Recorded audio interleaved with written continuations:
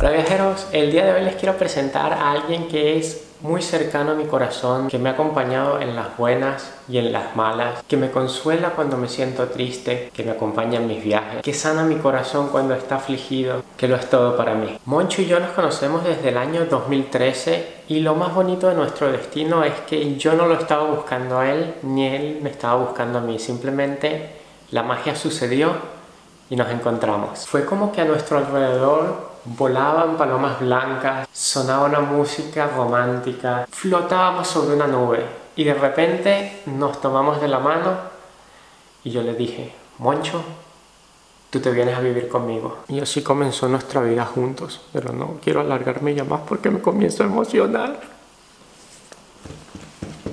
Sin más preámbulos te presento a Moncho.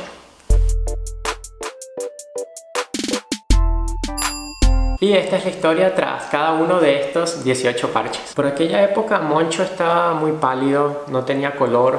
Yo siento que su exterior no reflejaba su verdadero yo y las emociones que él sentía en su corazón. Fue así como nació la idea de comenzar a ponerle parches para despertar esa emoción que yo sé que él tiene dentro de sí mismo y que reflejase a la vez mi emoción que son los viajes. Sobre la piel de Moncho tengo en este momento 18 parches y este sombrero lo terminé hace muchísimo tiempo, pero Moncho es mi favorito porque fue el primero. Hace también bastante tiempo que comencé un segundo sombrero y ya tengo de sobra para cubrir su piel, al igual que la de Moncho. Y después de ese ya va a venir un tercer sombrero que también tengo que hacerlo, pero no tenía tiempo de ponerme a coserlo. Entonces, Moncho tiene unos hermanitos que ya los irán conociendo, pero él es el más importante en mi vida porque fue el primero.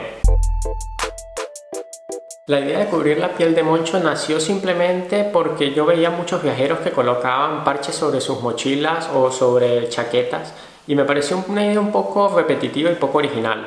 Entonces fue así como surgió de repente, ¿por qué no ponérselo a un sombrero que a la vez yo me lo pueda poner, que me sirva para protegerme de la lluvia, del sol y hacerlo completamente diferente a cualquier cosa que haya visto yo antes. Mucha gente que me ha parado por la calle me preguntan dónde compré el sombrero porque piensan que yo lo compré con todos estos parches ya listo y la verdad es que no es así. Todos estos parches los he comprado en cada uno de los países que he ido visitando y se los he cosido yo mismo. Muchos de estos parches son autoadhesivos, de estos que se ponen y se planchan, pero a mí esa idea no me gusta y absolutamente todos, todos los parches que ven aquí los he cosido yo mismo uno a uno a mano.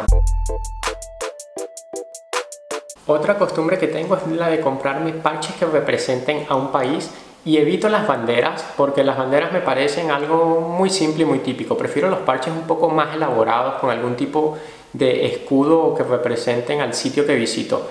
Cuando compro un parche de una bandera es porque no he conseguido uno que me guste más que ese. En el año 2013, cuando visité Italia por primera vez, compré este parche en la isla de Burano que dice Venecia, Ponte Rialto y fue el primer parche que estuvo sobre la piel de Moncho, pero este parche con el tiempo comenzó a ablandarse, sus bordes comenzaron a sufrir y corría el riesgo de desprenderse. Por ese motivo tuve que hacerle una cirugía menor a Moncho y retirarle este parche. En ese mismo viaje visité la Ciudad del Vaticano, por supuesto que está en Roma, y tenía ya este parche previamente que perteneció a mi abuelo que no conocí porque él murió antes de que yo naciese pero hice una prueba de color sobre este parche y le pasé un cepillito, lo lavé y no la superó. Y como Moncho necesita tener un buen aguante a la lluvia y a todo tipo de inclemencias al sol porque viaja siempre conmigo, entonces este parche tuve que desecharlo y ya más adelante compré este que es la bandera del Vaticano y la bandera de Italia también que sustituyó al parche de Venecia. Otro motivo por el cual decidí quitar este parche, aparte de porque ya veía que no iba a durar mucho, era que si me podía a ponerle parches de ciudades que visitaba, tal vez iba a tener muchísimos sombreros y no iba a acabar nunca, aparte de que económicamente me iba a salir más costoso.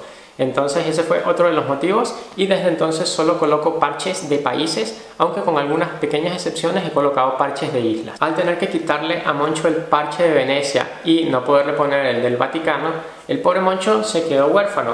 Entonces como tal el primer parche que coloqué sobre él fue este de Portugal, que lo compré en Oporto o en Lisboa, no recuerdo dónde, y en ese mismo viaje compré este de la isla de Madeira, que es una isla que me fascinó, la cual visité durante nueve días y le coloqué el parche no solo porque me gustó mucho la isla, sino el parche en sí y porque Madeira es una dependencia de Portugal. El Reino Unido lo he visitado ya en cuatro ocasiones y en mi primera visita no conseguí ningún parche. Mi hermana justamente estaba viviendo en una ciudad que se llama Birmingham y me consiguió este parche que me lo trajo y este fue uno de los siguientes que le añadí. Este de España se lo compré en una tienda aquí mismo en Barcelona por el barrio gótico y es como que un escudo, no sé exactamente qué representa el escudo, pero me pareció bonito. Y a pesar de que este fieltro es muy suave y con el tiempo comienza a ablandarse, se ha mantenido. Tal vez en un futuro tenga que hacerle algún tipo de ajuste para mantenerlo, pero de momento aguanta. Este de Turquía lo compré en Estambul, en el Gran Bazar. Recuerdo que había muchísimas tiendas con muchos parches, pero este fue el que más me gustó. Y también me gusta mucho cuando tiene el nombre del país escrito como que en el mismo idioma, al igual que este de Rusia, que dice aquí Rusia en ruso con caracteres cirílicos. Y este es muy bonito, me lo compró un amigo mío en una tienda militar y me lo envió porque tampoco había conseguido parches de Rusia y buscaba alguno que no fuese la típica bandera sino algo más así más elaborado. Venezuela que es donde nací no tenía ningún parche, tampoco he vuelto desde que me mudé de Venezuela a España hace 8 años entonces este parche lo acabé comprando por internet, es simplemente la bandera, no es de mis favoritos. Este de Marruecos me gusta porque tiene escrito el nombre del país con los caracteres arábigos y también porque el dibujito del camello está muy bonito. Este se ha ido destiniendo un poco con el tiempo. Esto no me volvía particularmente loco, este color en dorado, pero fue el único que conseguí que me pareció diferente y por eso lo compré. Y es el más grande de todos los parches que tengo en el sombrero actualmente. Estos dos parches, el de Luxemburgo y el de Grecia, están íntimamente relacionados porque el de Luxemburgo ya lo tenía cuando visité Grecia, pero estaba literalmente lo que se dice pendiendo de un hilo. Me encontraba yo visitando el monte Athos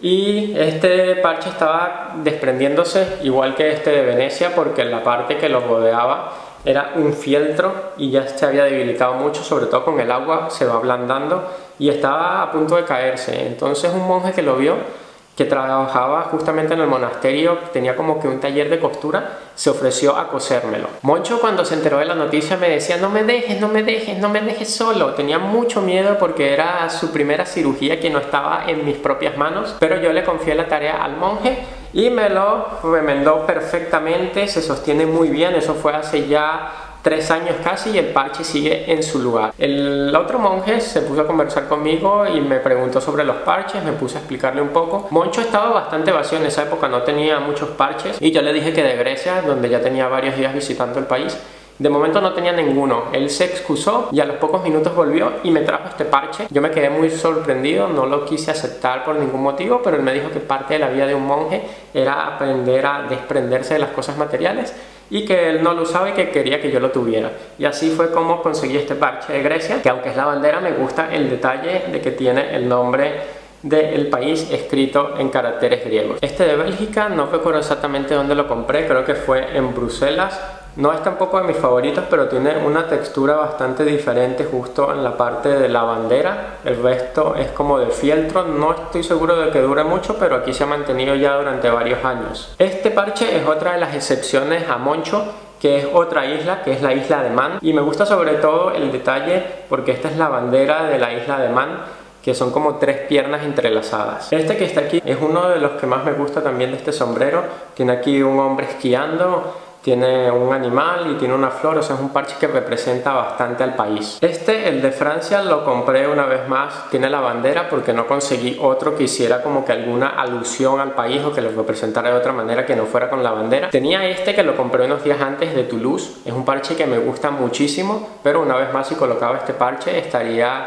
violando mi promesa de colocar solamente parches que hicieran alusión al país. Entonces este lo tengo guardado, no lo he colocado en ninguna parte, pero el definitivo fue este. El de Irlanda, este es un parche que me gusta muchísimo, lo compré en una tienda en Dublín que tenían una cantidad impresionante de souvenirs, todo relacionado con este mundo de San Patricio, el trébol de tres hojas, muchísimas, muchísimas cosas tenían en esa tienda y este es uno de mis parches favoritos, me gusta muchísimo por lo que representa y también como que resalta un poco sobre los demás este color verde así tan vivo. Albania es un país del que conozco poco pero conseguí este parche cuando visité la capital Tirana Lo conseguí muy barato como todo en Albania, en ese país se puede comer, se puede dormir y se puede hacer de todo por precios muy económicos y este me gusta mucho porque es un águila de dos cabezas que representa el escudo del país. Y por último está este otro parche que es de Macedonia, dice Macedonia, también lo dice con caracteres cirílicos y tiene este bordado de un león, me parece, como que tirando fuego por la boca. Este lo compré en un bazar en Skopje y también es uno de los parches que más me gusta de este sombrero.